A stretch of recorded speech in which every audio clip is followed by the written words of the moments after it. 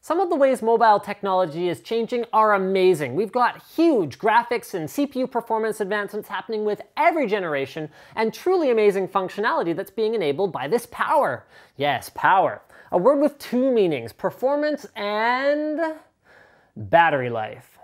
It feels like with every new product, we're expected to act like it's some kind of miracle that we're not getting even shorter battery life than last time. I often find myself needing an outlet before a single day is over, especially if I want to use any of the cool features of my phone like playing games, using GPS navigation, or tethering my mobile internet connection. That is where the mobile kit from Patriot comes in. It includes a Fuel Plus mobile rechargeable battery with a massive 8700 milliamp hour capacity and a 2.5 amp port for lightning fast charging when it's time to top up your devices. Its pass-through feature also allows you to charge Fuel Plus at the same time as your phone each night with only one wall power adapter. The kit also addresses the ongoing frustration users have with the limited storage available on their devices by including a 16 gig microSD card.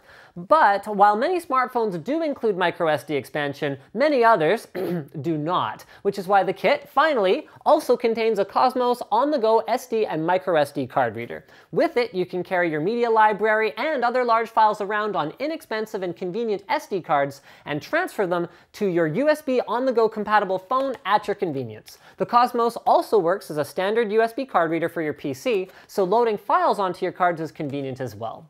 So, in summary, the mobile kit helps address two of the major shortcomings of modern smartphones and tablets, better battery life and bigger storage capacity. This has been another Techquickie. I'm Linus, and I'll see you again next time. Thank you.